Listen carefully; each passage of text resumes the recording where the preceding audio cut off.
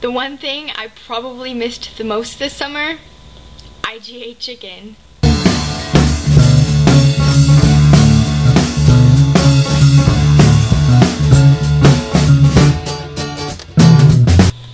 Today is a very important day because one week ago today I started my senior year of high school and that is absolutely ridiculous because first of all I'm a senior and second of all I am stressed out beyond belief. But I do have my IGA chicken and that makes me feel a lot better because I really really missed this over the summer. So I think that is why Jesus is awesome today because of this chicken. But also I have my raspberries. I think Strawberries are my favorite fruit, actually, but I really feel like getting raspberries today.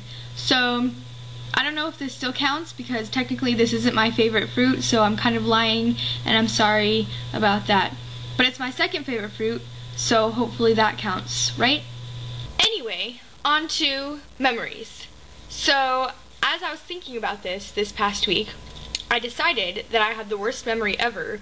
I tried to think of the the first memory I had of each of you, but yeah. They're probably pretty recent because I really can't remember anything.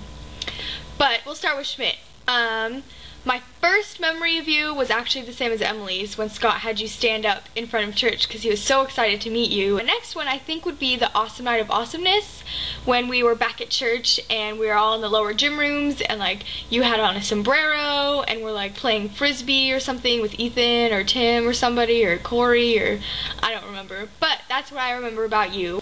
Sammy, I don't remember actually ever like meeting you like hi my name's Brittany but I just kind of hung out with Emily and she met you so then indirectly I met you I guess. But I do remember one time we were on the way back from Mars Hill and we were riding in Corey's van and Emily asked for your phone number and I put it in my phone too even though I didn't know you and I was like I'm never gonna talk to her.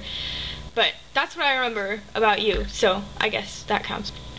Emily this one is so hard because that was like 10 years ago and I don't remember anything. Like I cannot remember my first memory you. I really, I really can't. I, I mean, I have a lot of memories, but I don't know which one came first.